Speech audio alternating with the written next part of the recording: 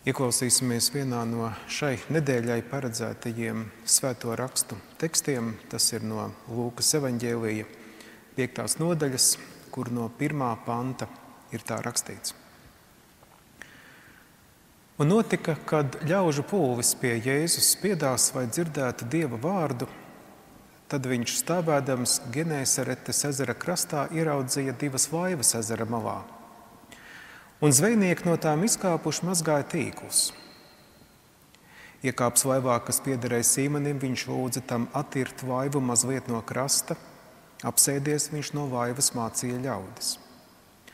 Beidzis runāt, viņš teica Sīmanim – airēja uz dziļumu un izmeta tīklus zvejai. Sīmanis atbildēja: Mācītāji, mēs visu nakti esam pulvējušies un nekā neesam noķēruši, bet es izmetīšu tīklus tavā vārdā. Tā izdarījuši, viņi noķēra milzumu daudz zivju, tā ka viņu tīkls aplīsa. Un tie māja saviem biedriem, kas bija otrā vaivā, vai tie nāktu viņiem palīgā. Tie atnāca un viņi piepildīja abas laivas tik pilnas, ka tās gandrīz grima. To redzēdams, Sīmans Pēters nokrita Jēzus priekšā uz ceļiem un sacīja: Kungs, ej prom no manis, jo es esmu grēcīgs cilvēks. Sīmani un visus, kas bija ar viņu, bija pārņēmušas bailes lielā zivju loma dēļ. Arī Jēkabu un Jāni Zebedēja dēls, kas bija Sīmaņa darba biedri. Jēzus sacīja Sīmanim: Nebīsties, no šī brīža tu būsi cilvēku zvejnieks. Izvilkuši laivas krastā, tie pameta visu un sekoja viņam. Tie ir svēto rakstu vārdi. Ļaužu pulvis, kas kāri tver katru dieva vārdu, panākumiem bagāts zvejas lomas, tīkli pilni. Šāda bilde izprasta kā rezultāts evaņģēlijas sludināšanai Daudziem sāk likt sapņot sapņus par cilvēkiem, kas traumēm plūst uz baznīcām, piepilda tās ar dzīvīgumu, rosību. Kādreiz tā esot bijis. Tagad gan nav, bet nāks laiks un būs. Rekā Covid laikā daudzi, daudz vairāk agrāk pieslēdzās baznīcai digitāli. Varbūt tās ir pirmās bezdevīgas, kas vēstīja par šīs skaistās bildes piepildīšanos. Tomēr nē, nu, atkal uz baznīcu nāk tikpat daudz kā agrāk. Lai skaistā bilde piepildītos, mums vajag atrast atslēgu, ar ko varētu patreizējo attīstību pagriezt kādā citā virzienā. Kāda varētu būt metode, kas atgrieztu atpakaļ kristīgās ticības nozīmīgumu visplašākajos sabiedrības slaņos. Viena domā, ka vajag dot iespēju cilvēkiem vairāk kaut kur piedalīties, vajag visu darīt kaut kā tuvāk dzīvei, vajag lielāku atklātību, vajag iet laikiem līdzi, saka kādi, būt moderniem. Citi saka, vajag vairāk runāt par vērtībām. Vieni saka tā, citi saka tā, bet tāda panākuma atslēga pēdējo gadu desmitos tā arī nav atrasta nekur. Skaistā bilde ar vienu paliek tikai bilde. Bet varbūt stāsts par Pētera lomu nebūtu nav panākumu stāsts, ar kuru palīdzību tautu tagad atkal darīt ticību. Mēs manām, ka Bībele nav pārāk norūpējusies par panākumiem, par sasniegumiem, par ļaužu straumēm. Evanģēlijos priekšplānā izvirzās citas tēmas. Evanģēlija nerunā par cipariem, bet gan par cilvēkiem. Par cilvēku dzīvēm, kurās ievijies Dievs, par to, kā Dievs aicina un pieskaras cilvēku sirdīm tik dziļi, ka izmaina viņu dzīves gaitas.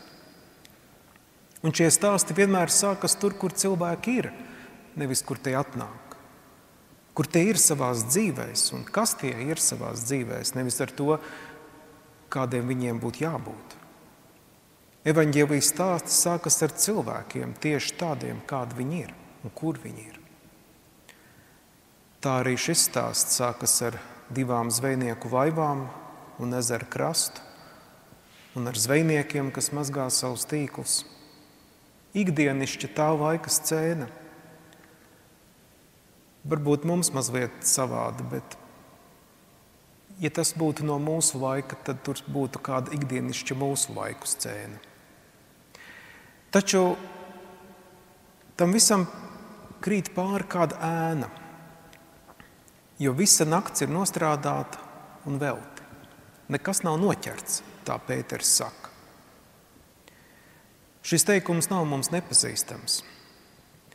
Mēs labi zinām, kā tas ir, kad ieguldītas tik daudz pūles, bet beigās nekā.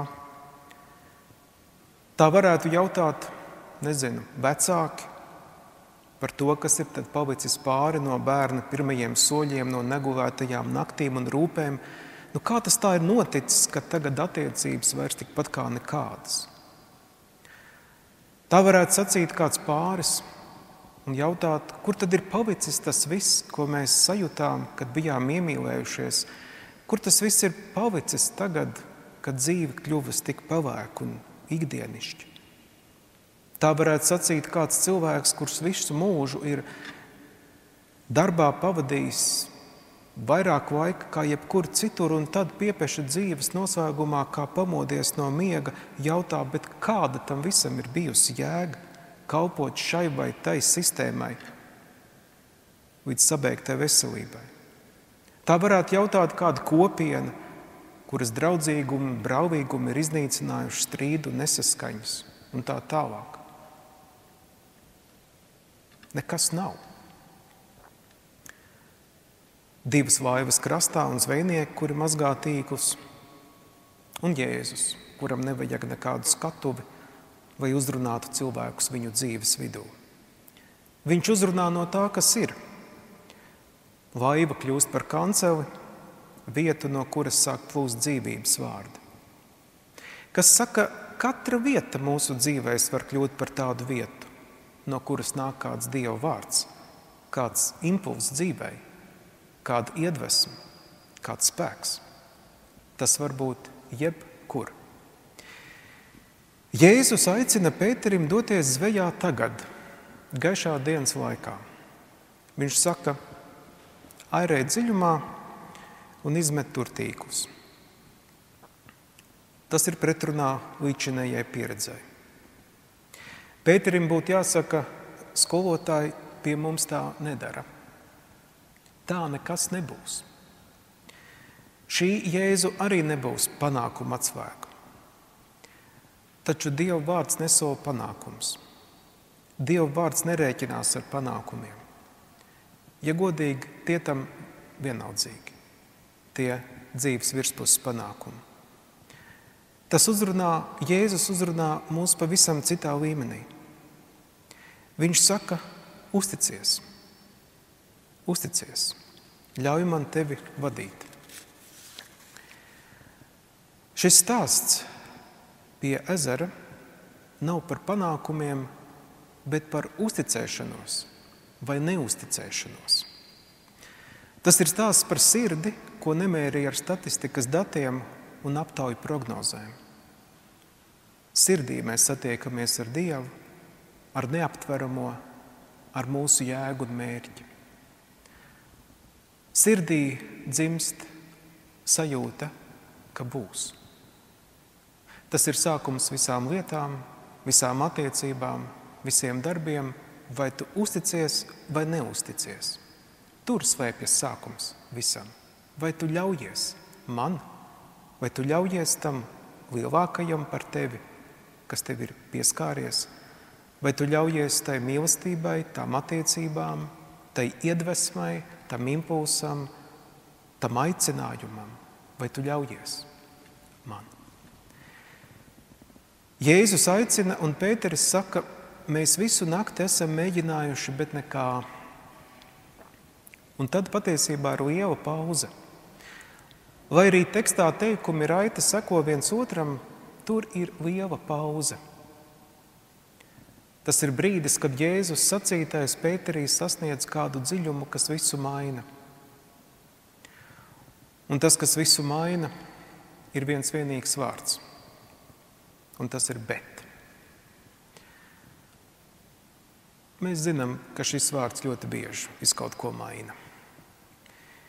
Bet mēs pazīstam, ka viņš ir tāds iebilduma vārds, tāds iegānsta neko nedarīt vārds, tāds padoties vārds, nemēģināt vairs vārds. Bet šoreiz šis vārds, šis bet ir citādāks. Pēters saka, bet es izmetīšu tīklus tavā vārdā. Un tajā brīdī satrūkst visas rezignācijas un sagaidāmās vilšanās saites. Tajā brīdī satrūkst visa padošanās un visa nemēģināšana, kas vienmēr tiecās mūs sasaistīt un apturēt, un visa nevarība un visa bezcerība, un atspīd kāds spēks un brīvība. Jā, var tā būt, ka es nezinu, kur palikušas manas rūpes par kādu cilvēku. Un var tā būt, ka es nezinu, kur palikusi mana mīlestība. Un var tā būt, ka es nezinu,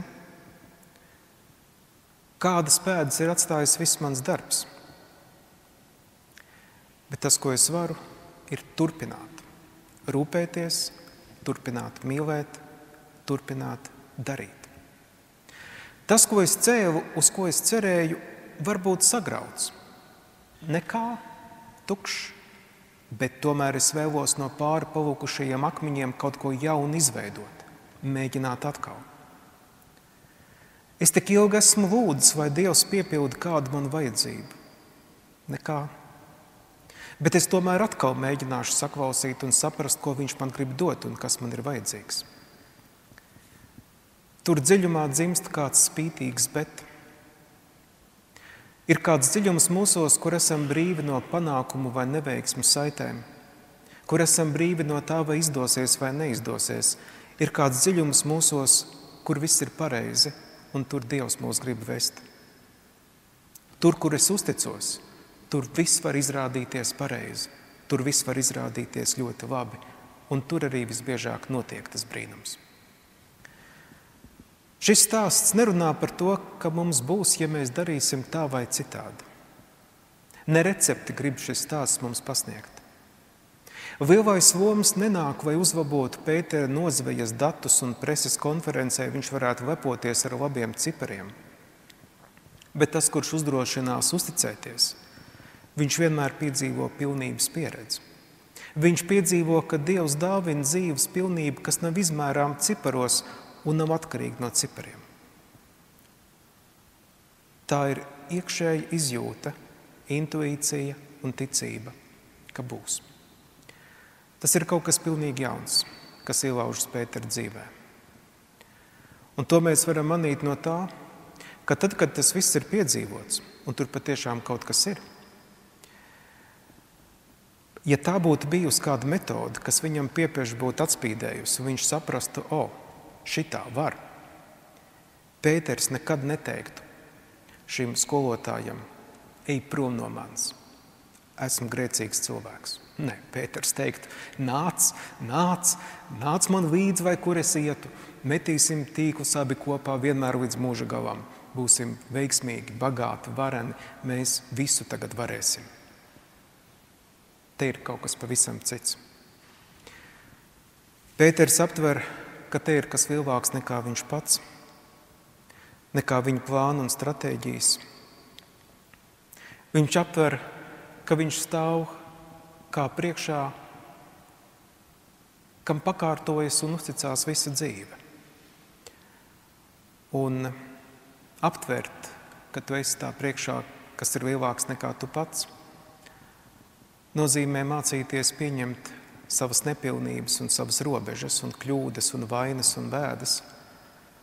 Jo tieši tās tik skaidri izvien ārā, kad tu nostājies kādas lielas mīlestības priekšā. Tu vari